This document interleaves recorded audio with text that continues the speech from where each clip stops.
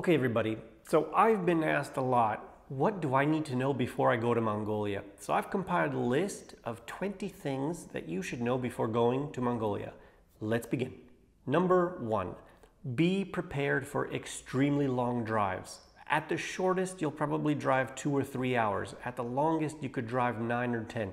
It really depends on the day, on the weather, the terrain, and just the general kind of feeling of everybody in the car. Remember, you're probably gonna stop and take breaks along the way, bathroom breaks, cigarette breaks, stretching breaks, food breaks. So it's gonna really increase the length of the drive.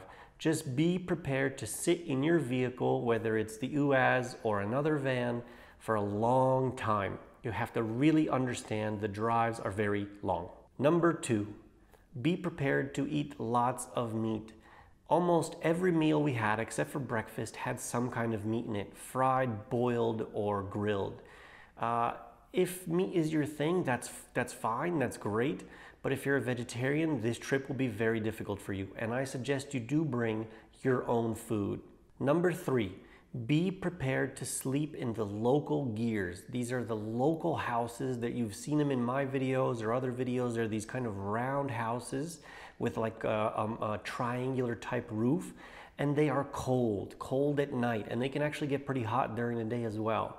Uh, the truth is that it's really just kind of a, a, an enclosure. It's, it's, what you could call four walls and a roof. Um, in, in, this case, it's one circular wall. Uh, they are open and exposed on the ground. You're walking just on the dirt or on the grass. Um, actually, in one of them, maybe we had that had the cement cover, but generally speaking, uh, these are mobile camps, mobile homes. And so uh, they kind of pitch them wherever they, they pitch their, their camp for that season or that time period. So be prepared. It gets cold in them, it gets hot in them, and your stuff is exposed to sometimes spiders or other things. Now, generally on my trip, it wasn't really a problem with insects or rodents. We didn't really see them, nor did we have any flies or mosquitoes. Uh, but you must know what kind of environments you'll be sleeping in. Number four, you will definitely want to bring moisture wicking clothes. For example, merino wool, which is absolutely my favorite. Now, it is more expensive, probably two to three times a synthetic shirt, but they don't smell. You can wear them two or three days in a row, then let them dry for a day, and they're fine.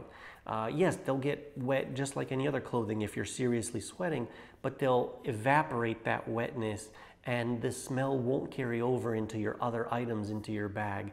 Now remember, there are virtually zero laundry facilities outside of the main city of Ulaanbaatar, which means that when you take your trip, you will not have access to laundry. There will be no freshwater streams where you could wash it yourself or give it to someone. Maybe in one or two camps randomly somewhere you will find some service, but remember that unless it's super hot, those clothes will not dry. And if you take wet clothing into your backpack, you spread mold and smell, and that's it. That's the end of your fresh clothing. Number five. This kind of touches upon number four, which is at some point throughout the trip, you will hit different environments and different temperatures, and you will end up sweating. With that being said, you won't have access to showers once or twice or even every day. Sometimes you'll go several days without a shower. For that reason, I recommend you bring wet wipes and take what we call a military shower, which means to use the wet wipes to clean your body. Because if you are kind of a, a clean, neat freak, uh, you will smell. And so it's best to just wipe under your armpits or other areas and uh, freshen up that way. So that, that's one way you can keep clean while on this trip. Number six, bring your own toilet paper. I don't think I have to explain too much about this other than the fact that you may get stuck having to use the restroom somewhere where there won't be access to paper, meaning you're not in a restaurant or someone's house. And these outhouses that are available for you, they don't have toilet paper waiting. Everyone brings their own. So definitely carry your own. I recommend you take the paper core out and you fold it, you squeeze it because it takes up less space. It's not one big roll. It kind of compacts down and definitely one or two rolls. Of course, you will hit stores along the way so you can buy more. You don't have to pack 10 pieces, but one or two maximum before you start the trip is great. Number seven, this touches upon the last one, which is these outhouses. Be prepared to squat.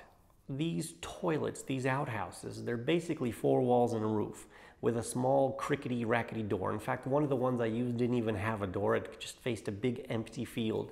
And uh, yeah, people could see you from very far away if they were out there, or even close if they were in the general direction. But that being said, be prepared to squat. Very few, in fact, I think only one on my trip actually had a seat, which means you're squatting. You're going to the bathroom in a squat position, and if you're not used to that position, your legs will start to shake and hurt very fast. So do some squats, do some stretches. Uh, you'll definitely feel it, and it, it sounds kind of funny, but you will clearly understand what I mean from your very first time. Number eight, do not expect four star hotel level of comfort. Okay. When you go to these places, they'll tell you you have charging. Sometimes it works, sometimes it doesn't. If you're expecting super clean washed sheets and uh, a pretty nice smell and flowers upon your arrival, you're not going to get that. Okay, these are mobile camps that people live in for either weeks at a time, seasons at a time, or years at a time, and then eventually they move. And so your level of comfort is very basic. You will have a mattress that's probably depressed, meaning it's got a hole or uh, kind of a depression in the middle. Um, your pillows will probably have been used by other people. So if that's something that kind of freaks you out, there's different ways uh, you can get around that, which is sleeping in sleeping bags, wearing hats while you sleep, or putting a t-shirt on top of a pillow. There's different methods you can use to get around that if that's a little bit weird for you. Number nine, the dust and the heat or cold can be extremely difficult to deal with. If you are not used to traveling, hiking into mountains, or taking long treks into the wilderness, this will be a challenge for you. And someone who has asthma, like myself, it can be very difficult with the dust. So please definitely bring all of your inhalers, all of your asthma, antihistamine medicine, whatever it is you take, and double up because you will not be able to buy this stuff along your trek. So bring more from home, make sure you have enough quantity to last your trip and then some in case you decide to extend or you get stuck for a day or two extra due to weather or road uh, issues. So plan forward and plan correctly. Number 10, the weather can be absolutely extreme, meaning hot to cold to rainy, all in the span of maybe five minutes to one day. So always be prepared. You're going to want to have quick access to your rain gear. You're going to want to have uh, clothing that you can kind of roll up into shorts and short sleeve shirts and back down into long clothing. And again, this is where the moisture wicking merino wool is perfect. Uh, generally, if you get hot, it tends to kind of get rid of that heat. And if you're cold, it kind of tends to keep that, that heat in. Um, but be prepared. The weather can be extreme in the span of five minutes. Always have access to your rain gear. Very important. Number 11, be prepared because most people will not speak English outside of Ulaanbaatar. And even then, outside of the touristy restaurants or stores, you'll find very few people that speak English. Don't worry, ultimately, communication can be made whether you're buying something or you want to ask for something. Hand symbols or whatever can work, so it's not a big issue. Number 12, you will definitely have a horse or camel ride somewhere along your trek. Let me just tell you, if you've never ridden a camel before, it actually is quite difficult. You will definitely feel the pain in your lower back. You sit on them in a very wide stance, and for that reason, it can definitely be a little bit difficult. Also, camels can be quite moody, so don't be surprised if he gives you a little growl or tries to bite at you.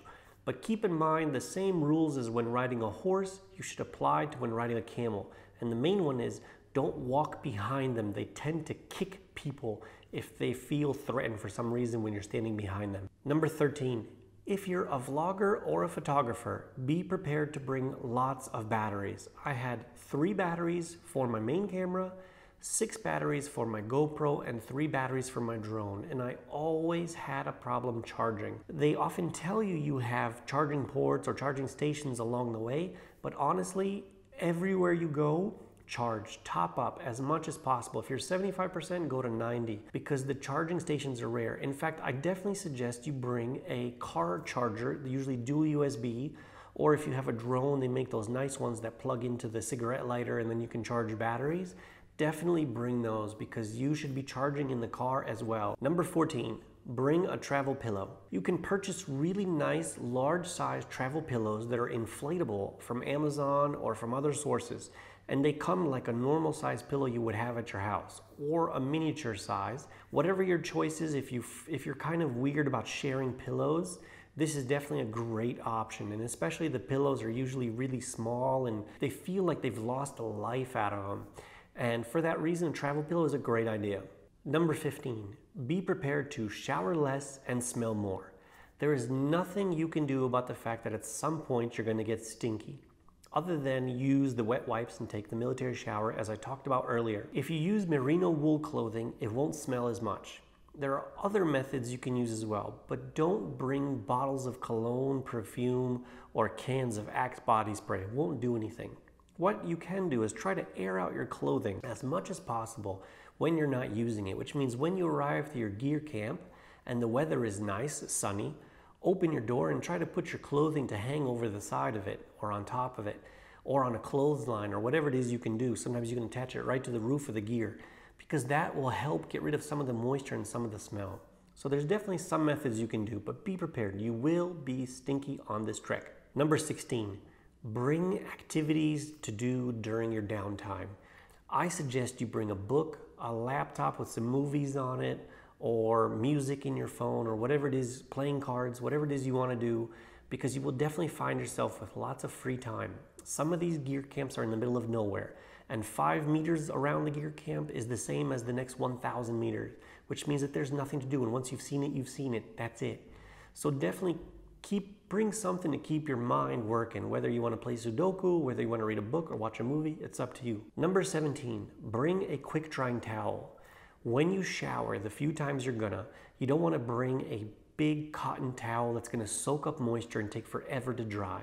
So bring a quick drying towel. REI sells a great one. I'm sure other outdoor stores sell really nice ones as well. I brought a medium size and it was awesome. It was great and it would dry in roughly about 15 20 minutes and came in a nice little stuff sack pouch. You just want to have your own towel. To be honest, I don't think I saw any showers even when you could pay for them, that gave you a towel as well. So definitely bring your own and it should be quick drying. Number 18, bring a headlamp. There'll be many times at night where it gets dark or it's pitch black outside, the moon's not up so you can't see anything. You need to use the restroom, you need to go outside for a cigarette break or whatever it is you want to do, take some photographs. That being said, bring a headlamp. I suggest the two-tone, two-color. They have a blue light and then a red light. And the red light's much softer on your eyes at nighttime when you've just woken up and you need to use the bathroom in the middle of the night. It's less invasive for your friends that are sleeping because they don't have to get woken up by a bright light hitting them. And also for you because you can easily fall asleep when it's a red light versus a blue light and suddenly your brain wakes up thinking it's daylight. So two-tone, red and blue, definitely the way to go. Number 19, bring an inflatable mattress. This touches upon an earlier subject. If you get grossed out by sharing beds with other people, there are people like that, we don't judge. You can put an inflatable mattress on top of the bed and then sleep inside your sleeping bag on top of that. I know it sounds a little bit ridiculous, but there are some people who just feel uncomfortable. So REI makes some really great ones. There's also some ones you can buy from other outdoor shops and they fold up and they don't weigh a lot. So it's another option for you to consider. And the final tip, number 20, always have cash. So along your trek, you're gonna wanna buy a souvenir, a snack, a bottle of water, or something extra during lunch or dinner, a can of Coke, whatever you want. Always carry cash. And definitely at the end of your trek, tip your guide because it's just the right thing to do. And you can tip them in your home currency if it's euro or dollars. If it's strange currency, maybe not because they might have trouble exchanging it, or in Mongolian money. Those are my top 20 tips. Good luck to you on your adventure and see you from the next destination.